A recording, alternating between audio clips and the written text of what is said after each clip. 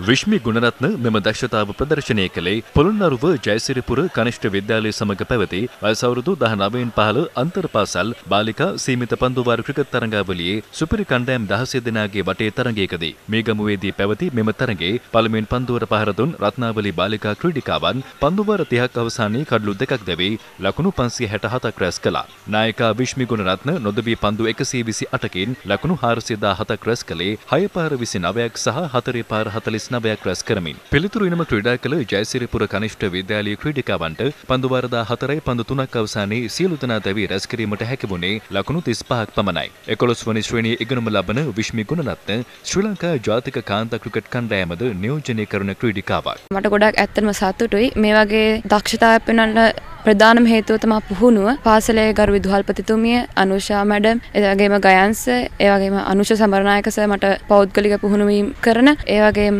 National team එකේ පුහුණුකරුවන් Hashan sir ඇතුළු සියලුම පුහුණුකරුවරුන්ට සියලු දෙනාට මම බොහොම ස්තුතිවන්ත වෙනවා. ඒ වගේම මගේ අම්මා තාත්තා ආදරයෙන් මතක් කරන්න ඕනේ. අධ්‍යාපන කටයුතු වලින් හැම දෙයකටම ලොකු සපෝට් එකක් දෙනවා. ඒ හැමෝටමත් මම ස්තුතිවන්ත වෙනවා.